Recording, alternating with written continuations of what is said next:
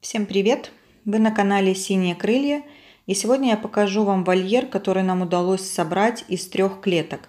Клетка на изображении слева была сооружена из двух, таких же как клетка справа. Исходный размер каждой клетки составлял 45 на 45 на 80 сантиметров. Вольер же получился следующих размеров. 45 сантиметров в ширину, 100 сантиметров в высоту и 91 сантиметр в длину.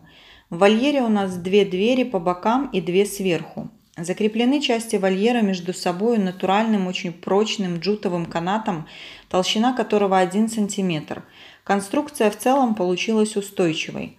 Арбузик соорудил на входе в домик хаотичную конструкцию, которая полностью закрыла доступ в гнездовой домик. Поэтому я вынула все эти ветки Попугай, конечно, очень пронзительно и долго возмущался до тех пор, пока я не положила ему на гнездовой домик деревянные шпажки, купленные в магазине, и предварительно обрезав ножницами острые концы.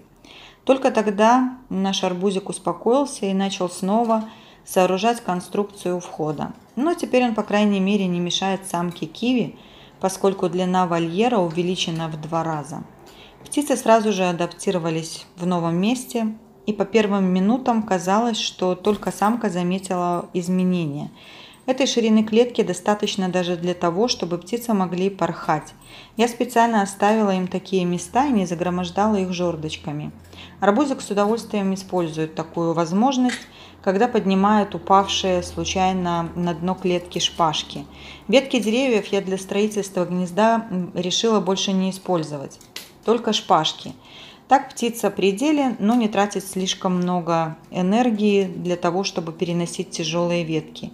А его творчество приобретает более такую красивую симпатичную форму. Всем спасибо за просмотр. Если это видео было для вас полезным, ставьте лайки. Подписывайтесь на наш канал. Всем пока!